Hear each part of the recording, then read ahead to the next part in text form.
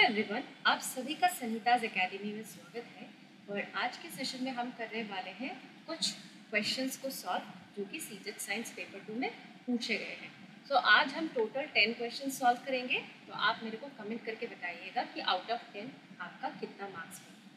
So without wasting any time let's get started तो हमारा first जो क्वेश्चन है यहाँ पर हमसे कहा गया है when a copper vessel is expose to moist air for long it acquires a dull green coating what is this green substance so copper के जो बर्तन होते हैं, उसको अगर हम यूँ ही बाहर छोड़ दें, जहाँ पर वो मॉइस्ट एयर के कांटेक्ट में आ रहा है, बड़े लंबे समय तक तो उसके ऊपर एक डल ग्रीन परत पड़ जाती है।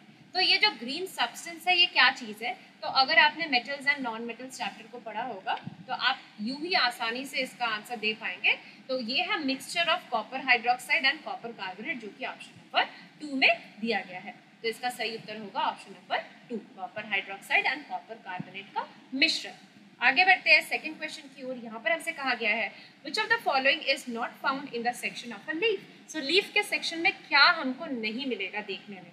गार्ड सेल्स तो होते हैं स्टोमा भी होता है क्लोरोफिल भी आपको दिख जाएगा क्योंकि प्लांट सेल में प्लास्टिड्स होते हैं जिनके अंदर ये ग्रीन कलर पिगमेंट होती है। सीडोपोडिया एमीवा में होता है सीडोपोडिया यानी कि फॉल्स फ़ीड जिसकी मदद से वो फ़ूड को कैप्चर करते हैं और जिसकी मदद से वो एक जगह से दूसरी जगह मूव करते हैं। एज पर सीटेड आंसर की, उन्होंने जाइलम को भी नहीं नॉट फाउंड कहा है but actually xylem leaf section में दिखना तो चाहिए, क्योंकि जो वेन्स होती है लीव्स की, जो मिड रिब होती है, वहाँ पे ये जो पाइप लाइक स्ट्रक्चर है, जो कि वाटर के ट्रांसपोर्ट में मदद करते हैं, वो दिखने तो चाहिए। पता नहीं क्यों उन्होंने इसको नॉट uh, फाउंड दिया है। तो एज पर सीटेड आंसर की डी और ई e, ये हमको लीव के सेक्शन में नहीं दिखेगा। स्टोमा और गार्ड सेल्स तो आपको पता होगा कि जो लीव का लोअर सरफेस होता है तो वहाँ पर छोटे छोटे टाइनी पोर्स होते हैं। तो वो पोर्स कैसे दिखते हैं? अगर हम उसको अच्छे से देखेंगे तो वो कुछ इस तरीके के दिखते हैं। तो ये जो किडनी शेपेड सेल्स आपको दिख रहे हैं ये दोनों ये क्या है? दीज आर गार्ड सेल्स और ये बीच का जो ओपनिंग है, जिसको मैंने अभी शेड किया है, ये है स्टोमा और क्लोरोफिल तो है ही तो नॉट फाउंड के लिए जो उत्तर दिया है, वो है डी एंड ई सो हमको ना तो सीडोपोडिया दिखेगा, ना ही जाइलम दिखेगा. आगे बढ़ते हैं नेक्स्ट क्वेश्चन की और यहाँ पर हमसे कहा गया है which one of the following options represent the correct sequence of processing of fibre into wool so fibre से वुल बनाने के जो करेक्ट सीक्वेंस है, इस प्रोसेस का, वो क्या है? तो अगर आपने फाइबर टू फैब्रिक चैप्टर पढ़ा है तो आपको पता होगा कि सबसे पहले तो हम क्या करते हैं कि शेयरिंग प्रोसेस की मदद से जो फ्लीज है, उसको निकालते हैं। तो सबसे पहला हो गया शेयरिंग ठीक है? उसके बाद जो हमको फ्लीज मिलता है, उसको बड़े से टैंक में हम अच्छे से वॉश करते हैं, ताकि जो डर्ट है डस्ट है ग्रीज है, वो निकल जाए। तो उस प्रोसेस को कहते हैं स्कोरिंग स्कोरिंग के बाद जो हमको फाइबर्स मिलता है, उसके टेक्सचर के बेसिस पे हम छटाई करते हैं। मतलब सॉर्टिंग होती है। अलग अलग फाइबर जो अलग अलग टेक्सचर के उनको अलग अलग किया जाता है। तो फिर आ जाता है सॉर्टिंग उसके बाद फाइबर्स को रंगा जाता है। तो डाइंग और फिर उसको रोल किया जाता है। तो उस हिसाब से इसका जो सही उत्तर होगा ऑप्शन नंबर टू होगा। ठीक है? आगे बढ़ते हैं नेक्स्ट क्वेश्चन की ओर। यहाँ पर हमसे कहा गया है, Reshma is boiling water in a metallic pan so so, Reshma क्या कर रही है? वो एक मेटालिक पैन में पानी को उबाल रही है। Heat is transferred in many ways so अगर आपने हीट चैप्टर पढ़ा होगा तो आपको पता है कि there are three different ways of heat transfer so जब पानी उबलता है किसी भी मेटालिक पैन में तो वहाँ पर भी जो हीट का ट्रांसफ़र होता है वो अलग अलग तरीके से होता है।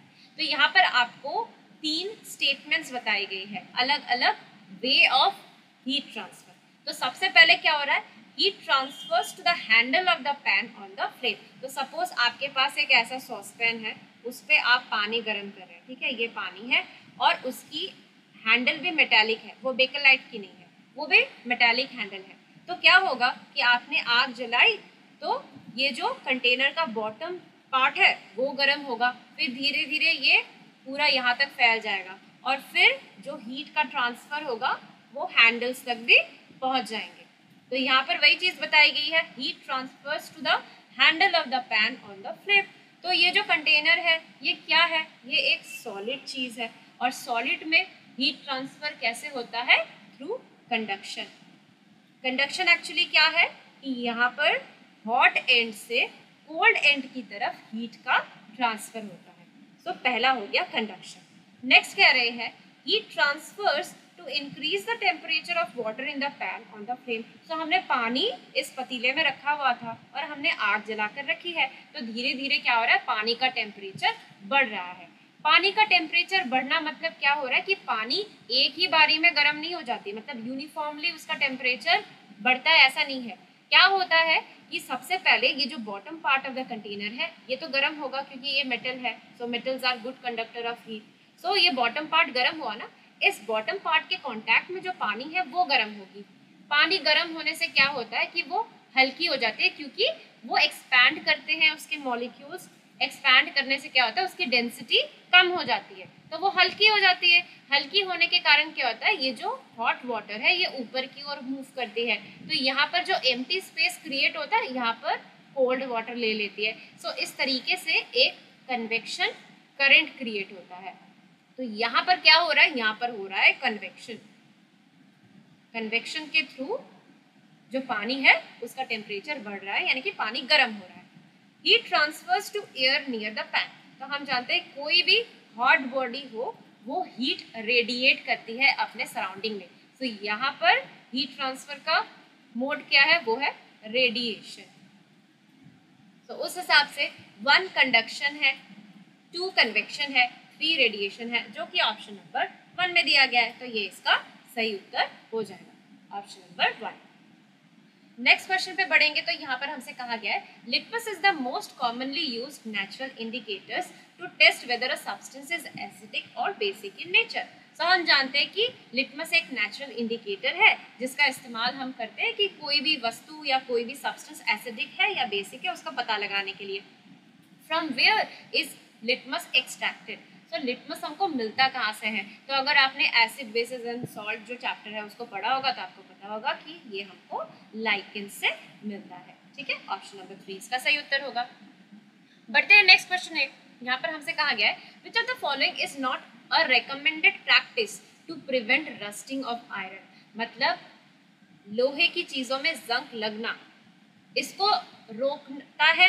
कौन सा यहाँ पर कौन सा प्रैक्टिस हम रिकमेंड नहीं करेंगे? मतलब लोहे में जंग लगने को रोकने के लिए इनमें से कौन सा प्रैक्टिस हम रिकमेंड नहीं करेंगे? So mixing iron with carbon chromium nickel and manganese ये करने से तो जो लोहे की वस्तु है उसमें जंग लगती नहीं है। Depositing a layer of zinc और क्रोमियम ऑन आयरन ये भी ठीक है। Greasing the piece of iron ये बात भी ठीक है। Keeping an iron piece in a humid atmosphere ये रिकमेंडेड प्रैक्टिस नहीं है, क्योंकि इसके चलते तो आयरन की चीज़ में जंग लगेगा मतलब वो प्रोसेस और फास्ट हो जाएगा जंग लगने का। तो ये वाला इसका जो होगा, सही उत्तर होगा, क्योंकि हमको पूछा है not a recommended practice to prevent rusting of iron तो ये गया इसका आंसर नेक्स्ट हमसे कहा गया which of the following is correct about climate of a place so किसी भी जगह का जो क्लाइमेट है, उसके बारे में कौन सा जो बात है, वो सही है? Climate is same as weather of that place ये बात गलत है। वेदर और क्लाइमेट अलग चीज़ है। ठीक है?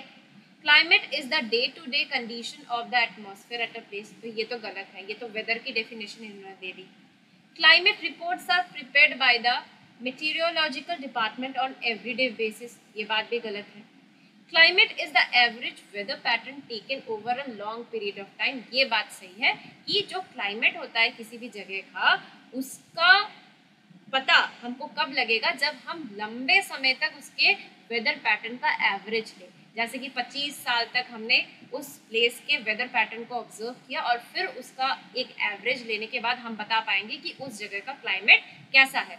तो इसलिए यहाँ पे इसका जो सही उत्तर होगा, वो होगा ऑप्शन नंबर फोर बढ़ते हैं नेक्स्ट क्वेश्चन की और यहाँ पर हमसे कहा गया है Areeba did an activity for calculation of moisture content of a soil sample so Areeba ने एक सॉयल सैंपल लिया था और उसने एक एक्टिविटी की ताकि उसको पता चले कि उस सॉयल सैंपल में कितना मॉइस्चर मौजूद है।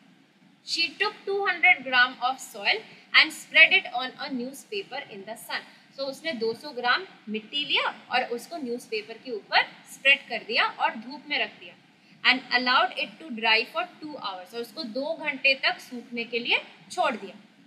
After two hours the weight of the soil was 180 gram दो घंटे बाद उस सॉइल का जो वज़न उसने दोबारा लिया तो तब वो हो गया था 180 gram what is the percentage of moisture in the soil so moisture का जो परसेंटेज है सॉइल में, वो कितना था? तो सबसे पहले हम क्या करेंगे कि सॉइल थी कितनी? 200 ग्राम ओके बाद में जब हमने उसको सूखने के लिए छोड़ दिया तो वो बन गया 180 ग्राम टोटल हमने कितना लिया था? 200 ग्राम्स ऑफ़ सॉइल और परसेंटेज निकाल रहे हैं तो 100 से हमें मल्टीप्लाई करना पड़ेगा. तो ये क्या आ जा रहा है? इसको अगर हम सॉल्व करेंगे 200 माइनस वन हो जाएगा 20 gram by 200 gram into hundred so zero zero cut गया ज़ीरो ज़ीरो कट गया टू वन ज़ा टू और टू टेन ज़ा ट्वेंटी ग्राम ग्राम भी कट गया। तो हमको क्या मिल रहा है? इसका आंसर होगा टेन परसेंट जो कि ऑप्शन नंबर टू में दिया गया है। ओके आगे बढ़ते हैं नेक्स्ट क्वेश्चन की और यहाँ पर हमसे कहा गया है which one of the following option is incorrect about human circulatory system तो ह्यूमन सर्कुलेटरी सिस्टम के बारे में कौन सा जो ऑप्शन है, वो गलत है, उसको हमें चूज़ करना है। सो human heart is a four chambered structure ये बात तो सही है कि ह्यूमन हार्ट के फोर चेम्बर्ड होते हैं two atria and two ventricles pulmonary artery carries carbon dioxide rich blood to the lungs तो ये बात सही है कि पल्मोनरी आर्टरी क्या करती है? वो हमारे right side of the heart से जो डीऑक्सीजनेटेड ब्लड है, यानी कि जो कार्बन डाइऑक्साइड रिच ब्लड है, उसको कैरी करके लंग्स तक लेके जाती है। Rhythmic contraction and relaxation of muscles in chambers of heart constitute heart beat तो ये बात भी सही है कि जो चेम्बर्स ऑफ़ हार्ट है, उस, क्योंकि हार्ट कार्डियक मसल का बना होता है तो वो एक मस्कुलर स्ट्रक्चर है। तो मसल्स क्या करते हैं? वो कॉन्ट्रैक्ट करते हैं और रिलैक्स करते हैं। तो ये जो रिदमिक कॉन्ट्रैक्शन और रिलैक्सेशन होता है मसल्स का जिससे हार्ट बना हुआ है तो उसके चलते हार्ट बीट होती है। तो ये बात भी सही है। The upper two chambers are called ventricles and the lower ones are called atria ये बात गलत है। Upper two chambers are called atria and lower ones are called ventricles so जो गलत ऑप्शन है, उसको हमें चुनना था तो वो हो जाएगा ऑप्शन नंबर फोर ठीक है? आगे बढ़ेंगे। सो so, यहाँ पर हमको क्वेश्चन नंबर टेन में क्या कहा गया है? Which one of the following is not a method of asexual ठीक है? ये असेक्सुअल पढ़ा जाएगा। रिप्रोडक्शन इन प्लांट्स सो इनमें से कौन सा मेथड नहीं है? असेक्सुअल रिप्रोडक्शन इन प्लांट्स का। सो so, बर्डिंग तो असेक्सुअल रिप्रोडक्शन है। तो इसको हम क्रॉस कर देंगे क्योंकि हमको नहीं है ढूंढना है। स्पोर फॉर्मेशन भी एक असेक्सुअल मेथड ऑफ़ रिप्रोडक्शन है। फ्रैगमेंटेशन भी एक असेक्सुअल मोड ऑफ़ रिप्रोडक्शन है। पॉलिनेशन जो होता है, इसके चलते क्या होता है? सेक्सुअल रिप्रोडक्शन इन प्लांट्स होता है। तो पॉलिनेशन इसका सही उत्तर होगा।